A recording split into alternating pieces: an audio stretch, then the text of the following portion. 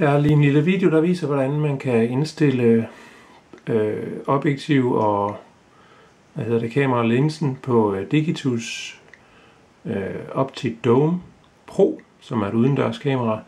Hvis man skal ændre på vinklen, øh, så kan man tage fat her lige så forsigtigt, og så vippe den. Hele den sektion her kan simpelthen vippes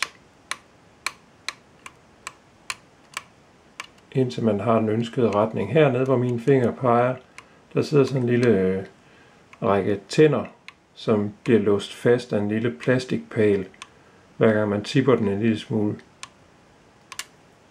Så det, det er den ene vej.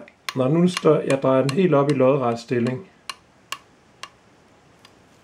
og så lige drejer hele kameraet rundt en gang her, så kommer der et par skruer frem herinde derinde. Og dem kan man bruge til at indstille zoom og fokus på objektivet. Så når jeg lige skruer den løs med en almindelig lille skruetrækker her, sådan, og den anden derop, så har jeg nu mulighed for at flytte dem til siden der, og dreje den anden vej her.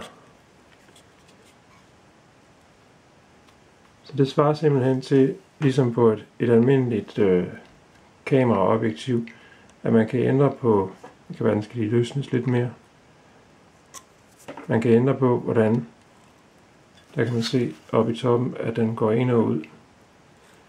Så simpelthen zoom-indstilling og, og fokusindstilling, man ændrer her. Så dem sætter man så ind, til man har fundet det rigtige øh, zoom og fokusering, og så skruer man lige øh, skruerne på igen her. Strammer dem, så, så den ikke øh, flytter fokus og zoom. Sådan. Ligesådan som ved hele objektivsektionen her kan vippes op og ned, så kan man også dreje det rundt lidt forsigtigt at tage fat herude i siderne. Og så simpelthen, der er også sådan en tandkrans, der griber ind i en lille låsepæl. Så der kan man altså dreje den rundt ind, så man finder den rigtige øh, position. Bare gør det stille og roligt, så der ikke bliver ødelagt noget.